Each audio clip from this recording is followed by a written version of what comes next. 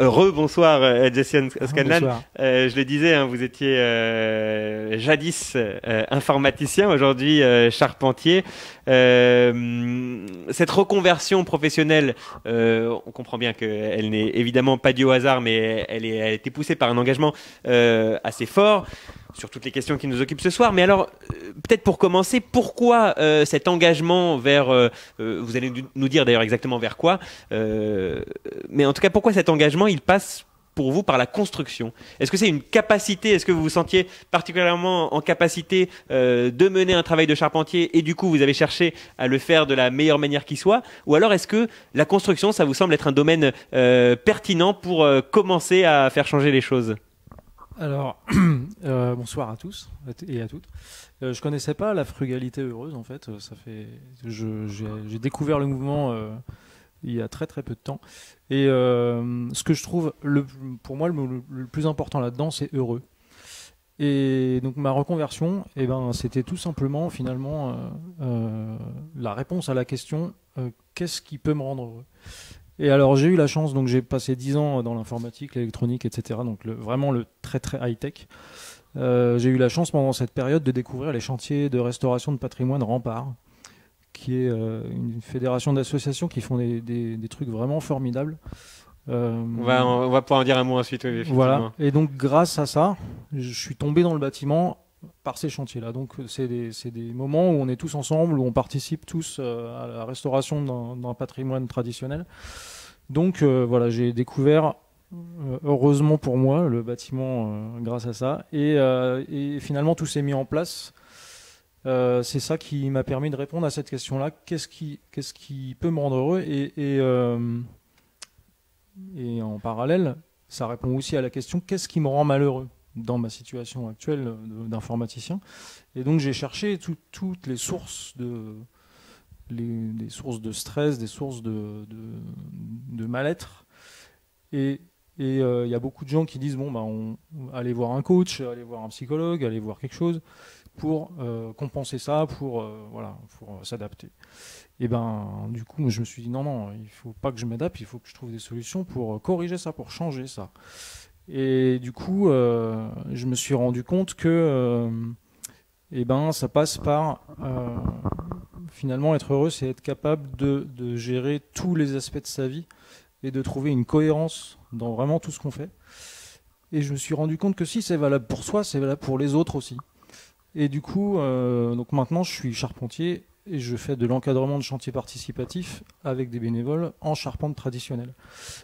C'est vraiment ça, enfin ma direction, c'est là, euh, c'est vraiment ce que je veux faire. Alors on va effectivement revenir sur tout ça et sur votre euh, activité euh, précisément. On va on va pouvoir préciser tout ça et, on va euh, bien revenir aussi sur comment vous êtes arrivé. En tout cas, pour ce qui est de la, la ligne directrice, on va dire c'est c'est une suite d'opportunités. C'est pas un matin en se réveillant, le monde va mal, il faut que que je participe à, à ma petite échelle la, la goutte d'eau du, du, colibri pour moi-même faire ma part et donc je vais me changer de métier pour aller vers, vers dans cette direction-là. Non non, c'est pas ça du tout. Vous c'est une suite de, de, une coordination, une concordance pardon d'événements qui vous a amené là. Et finalement, aujourd'hui, vous y trouvez plutôt bien. Euh, oui, oui. Bah, c'est une Il y a quand même eu un moment où j'ai décidé de, démissionner euh, de, de, situation, enfin du métier d'informaticien pour aller là. Donc il y a quand même eu un moment où euh, il a fallu sauter le pas. Mais ce moment-là, finalement, il m'a paru très naturel quand c'est arrivé. avant, c'était, je me suis dit c'est compliqué, c'est, j'avais peur un peu. Et puis finalement, quand ça s'est passé, c'était ça allait de soi. Alors un euh, mot peut-être sur euh, l'association Rempart effectivement. Alors euh, on vous présentait jusqu'à présent le mouvement de la frugalité heureuse et, créative et on, invite vraiment ceux qui nous suivent à, aller jeter un œil un petit peu à toutes ces activités là et toutes ces actions là dans un genre tout à fait différent mais qui peut amener aussi une même forme de rencontre, de collaboration et, et, une même réflexion sur sur sur nos, nos activités respectives. L'association Rempart, qu'est-ce que c'est? C'est un grand, c'est une grande fédération à travers la France de chantiers. Qu'est-ce qu'ils ont de particulier en fait? C'est une union d'associations, oui, de chantiers participatifs. Euh, alors ce, chaque, chaque association est particulière puisque une association se monte pour euh, s'occuper d'un bâtiment en particulier, avec euh, des baux de la mairie. Et quand c'est des bâtiments publics, classés ou non d'ailleurs, en général, ils sont suivis par un architecte des monuments historiques. qui va organiser les phases des chantiers. donc moi je peux parler des, des deux ou trois euh, chantiers sur lesquels je suis allé. Je ne sais pas si ça se passe exactement comme ça pour toutes les associations. Euh, mais euh, en général, quand, on décide de restaurer un bâtiment qui date du 12e avec tout en historique jusqu'à nos jours, eh ben, on va choisir telle période de restauration, on va choisir les matériaux, les outils et les techniques de cette période-là. Donc ça permet aux artisans qui viennent encadrer les chantiers, parce qu'ils sont quand même encadrés par des professionnels, euh, de s'intéresser à l'histoire de leur propre technique pour, euh, pour, pouvoir euh, transmettre tout ça aux, bénévoles qui viennent. Et les bénévoles qui viennent, c'est vraiment de tous horizons. On n'est pas du tout obligé d'avoir appris le, le, métier pour venir. Et il y a vraiment tous les corps de métier traditionnels. Ça peut être de la couverture, de la maçonnerie traditionnelle, de la taille de pierre, de la forge, du vitrail, euh, du, de la construction de tuiles. Euh, Mais donc, euh, vous, à l'époque, vous êtes ingénieur en informaticien, pour le dire largement. quand vous débarquez à Rempart, j'ai noté, c'était en 2005, si je dis pas de bêtises, vous n'avez aucune idée d'en de, faire plus tard ah un métier ou une activité. Qu'est-ce qui vous a poussé, qu'est-ce qui vous a amené là-dedans? Euh, dans les chantiers remparts, vous voulez dire? Oui. Euh, c'était, on m'en avait parlé. C'est un, camarade d'école d'ingénieur qui m'en avait parlé et puis euh, qui m'a dit tiens pendant les vacances tu peux faire ça c'est sympa. Et puis c'est sympa parce qu'on se retrouve tous pendant deux semaines sur un chantier. On participe tous à la vie collective. On fait on fait à manger. On est dans un dortoir. On est enfin c'est vraiment de la vie en commun quoi. Et, et puis du coup c'était des vacances sympas au départ et finalement, bah, j'ai découvert plein de techniques géniales. Et, et alors, euh, au sein des chantiers remparts, vous, parlez de plusieurs chantiers sur lesquels vous avez euh, participé. C'est des, des, chantiers qui se font au long cours, hein, c'est ça C'est on y va euh, pendant deux semaines de vacances, puis pendant les week-ends tout au long de l'année. Alors, on n'est pas obligé de. Non, non, pas forcément. Hein. On peut venir, on peut y aller qu'une seule fois, si, si on n'a pas le temps ou si ça nous intéresse plus. Ou enfin, bref on n'est pas du tout obligé de, revenir et tout ça, mais évidemment, euh, quand on aime, eh ben, mm. après, euh, on y retourne, on, peut devenir animateur, on peut euh, même devenir encadrant technique si on veut se former après. Enfin, moi, je suis encadrant technique rempart, enfin, je suis dans la liste, j'en ai pas fait souvent parce que finalement, c'est mon activité qui a pris le dessus, mais je pourrais encadrer des chantiers remparts en charpente. Mm. Et, alors justement, la charpente, c'est tout de suite venu euh, à partir du moment où vous avez intégré alors, Non, non, c'est pas tout de suite venu. Euh, j'ai eu une période où je me disais tiens que je pourrais faire de la construction bois aussi, euh, puisqu'il y a une formation là-dedans qui, qui, qui, propose une vision du bâti un tout petit peu plus large que juste la charpente, mais je suis allé à, une, à des portes ouvertes des compagnons, des compagnons du devoir et j'ai vu des, des plans de charpente au dixième là. Et quand j'ai vu ça, je me, suis, je me suis dit qu'il fallait que je sache euh, comprendre ces plans-là. Parce que voilà, ça m'a sauté aux yeux, ça m'a paru euh, c'est ce que je me suis dit. Il faut absolument que je sache euh, dessiner ça. C'est c'est ça, que je veux faire. Il y a une petite appétence pour le dessin aussi hein, qui était euh, qui était déjà là et qui peut-être euh, vous a amené là-dedans. on, va continuer. On va parler très précisément aujourd'hui de votre activité et de comment vous la menez. Peut-être juste avant, j'aimerais bien faire intervenir Philippe Madec parce que je ne sais pas s'il y en a beaucoup dans le du côté du manifeste de la frugalité heureuse et créative, euh, euh, des, personnes qui, comme euh, Jesse O'Scanlan, comme ça, ont, changé de vie. J'en connais un au moins, puisqu'il est venu, il a participé à l'une de, vos conférences, c'est Julien Chopin, qui est un architecte très connu du collectif Encore Heureux, et qui expliquait, dans le cadre d'une des conférences dont vous parliez, donc les, mardis, les, rendez-vous des, mardis qu'on a pu suivre sur Internet ces, ces derniers mois, et il racontait son passage aujourd'hui, jusqu'à aujourd'hui, architecte, euh, comme je vous le disais, assez renommé euh, finalement, et qui est en train de, faire une reconversion pour aller vers le, vers, euh, il devient boulanger paysan, si je dis pas de bêtises. Et j'ai cru comprendre que il faisait sa présentation, voilà, il racontait son parcours et il hésitait un petit peu sur les termes à utiliser. Et quelqu'un du, manifeste a, a, soufflé le mot métamorphose ça dit quelque chose, enfin, cette métamorphose, c'est un mot qui vous intéresse, je crois savoir, euh, dans le cas du manifeste. Au-delà d'un changement euh, de parcours, c'est un mot qui vous semble assez important. Est-ce que vous pouvez nous en dire un mot peut-être? Oui, enfin, avec joie. Euh, effectivement, le, parcours de, Julien Chopin est, un parcours euh, extrêmement émouvant. Enfin, quand, on sait la, place qu'il occupait, et je pense qu'il continue un peu à occuper aujourd'hui dans, l'esprit des jeunes architectes, grâce à, son travail avec Dans Encore Heureux, euh, faire ce choix-là, c'est un choix de vie. Et c'est aussi ce que j'aime beaucoup en fait, dans la présentation euh, faite par Jessie.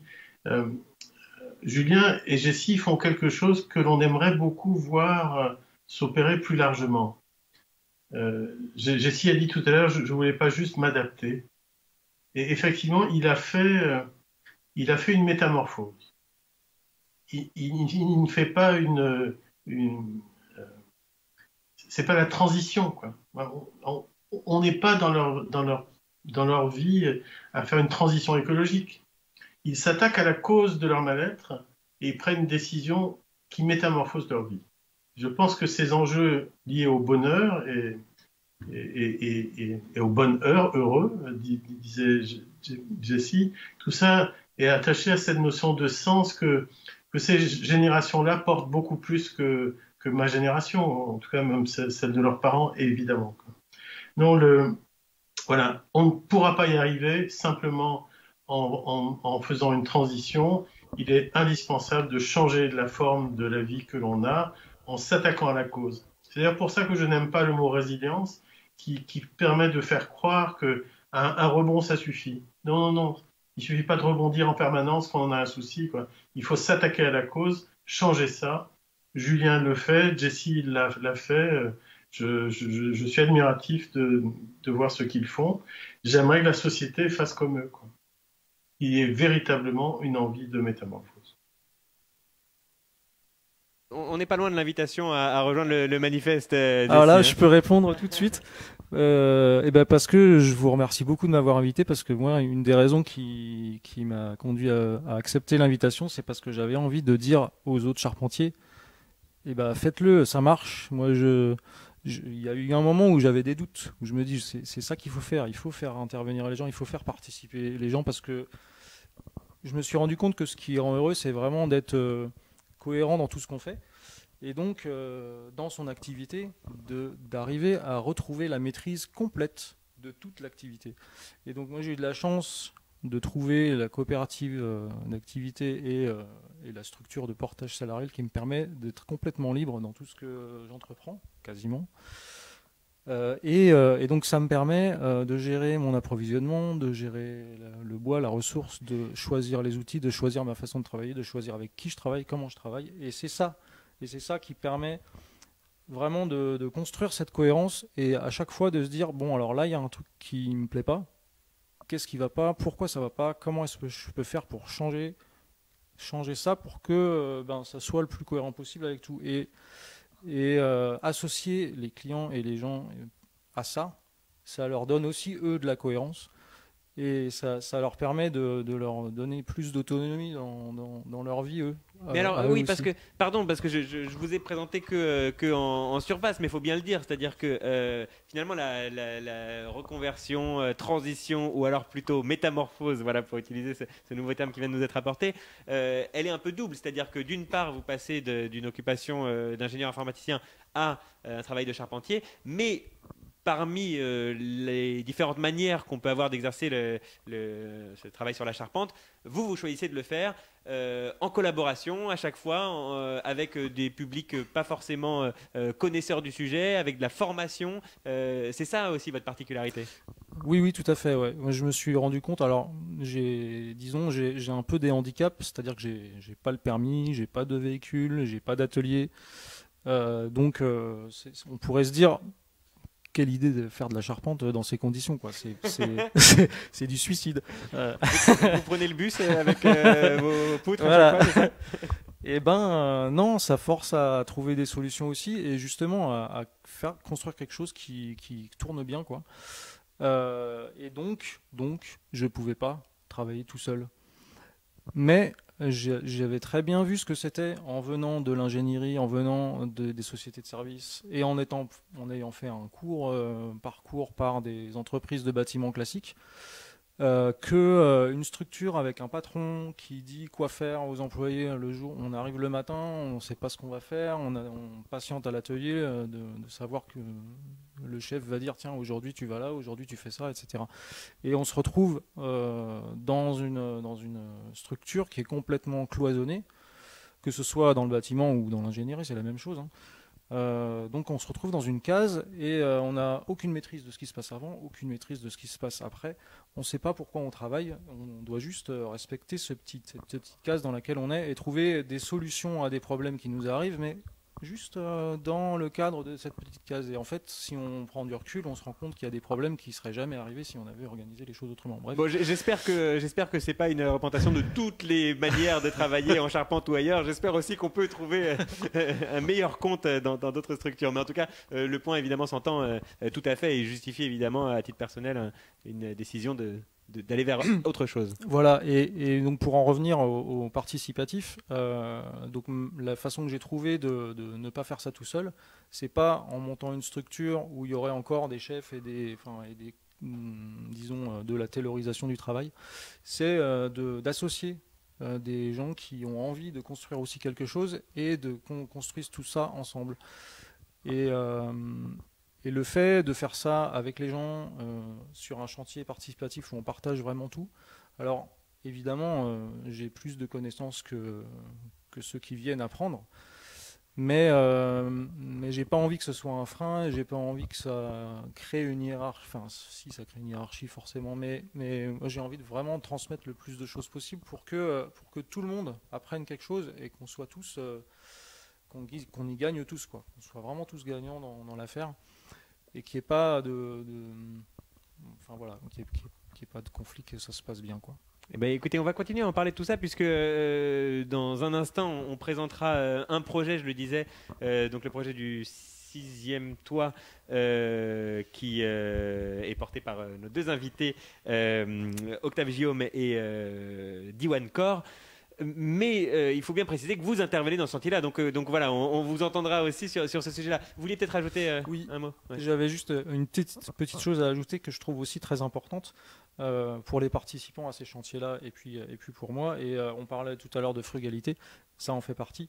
C'est que les chantiers que j'encadre, c'est donc non seulement de la charpente traditionnelle, mais c'est aussi la plupart du temps, enfin au maximum avec des outils à main.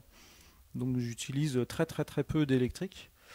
Euh, ça fait partie euh, des choses qui sont aussi importantes euh, et qui font partie pour plusieurs raisons. Donc ça, ça, rejoint un petit peu l'idée du low-tech. ça, bah, c'est qui sera au sujet effectivement voilà. d'une prochaine petite leçon de vie le mois Donc, prochain. Merci pour la transition. Je vais pas en parler maintenant, mais ce que je voulais juste dire à propos de, de ça et qui moi m'intéresse pour les participants qui viennent apprendre, c'est que les outils à main c'est vraiment euh, un très très bon outil justement pour que les gens s'approprient euh, les techniques grâce à leur corps. Et le, fait de travailler non seulement, et c'est aussi pour ça que la charpente, c'est un métier que je trouve euh, génial parce qu'il y a de la réflexion, je fais des plans, je fais des, des épures, il y a de la représentation dans l'espace très compliqué, mais il y a aussi du travail à la main. Et donc le travail physique allié au travail intellectuel qui va avec tout ça, c'est très très cohérent. Et, et c'est ça, euh, moi, qui me remeut, c'est de, de, réfléchir à quelque chose et de le fabriquer avec mes mains après. Et ça, c'est. Voilà. Est-ce que vous aurez quelques petits noms d'outils à main à, à nous donner, qu'on puisse faire une recherche Google en même temps qu'on qu qu suit cette euh, conférence? Euh, Vous n'avez pas pu en amener ce soir, mais je ah crois ben, que c'est ouais, toujours des, des choses assez, euh, assez étonnantes. Alors, l'outil que je trouve le plus rigolo, c'est la chignole. Euh, ou le vilebrequin, c'est un, un, outil qui permet de percer ou de, ou de visser euh, sans électricité, donc euh, tout à la main. Bon, chers amis, je vous invite, euh, voilà, nouvel onglet, pomme T, et, euh, et on tape chignol, C-H-I-G-N-O, 2 L-E, j'imagine, euh, ou vilebrequin, voilà. et je crois me rappeler, c'est ça, c'est cet outil comme ça. Avec, Alors oui, ça c'est la version grosse, et puis la version avec une petite poignée sur le côté, il y a des petite version. Mais c'est très pratique. Hein. Moi, j'avais eu euh, une visseuse à, à, à, batterie euh, pendant un moment. Euh, elle s'est cassée et j'ai pris ça à la place et ça fonctionne très très bien.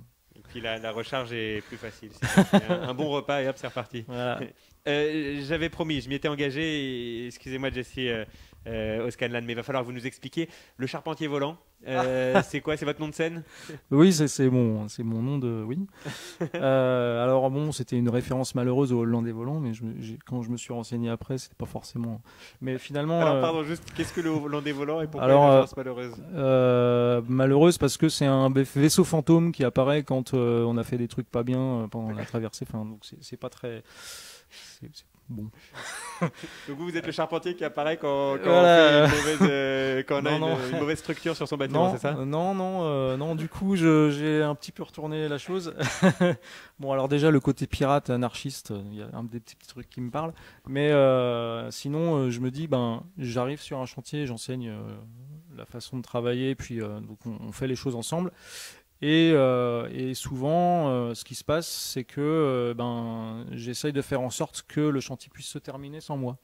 Donc, euh, quand les gens sont autonomes et qu'ils peuvent se débrouiller tout seuls, je m'envole. Vous les prévenez quand même avant euh, ou, un jour on vous attend et vous n'êtes plus là et on n'a plus le choix que de terminer la charpente Ah si, bien sûr, je les préviens. Je les préviens même euh, de me prévenir moi quand ils font la crémaillère, quand c'est fini. Évidemment.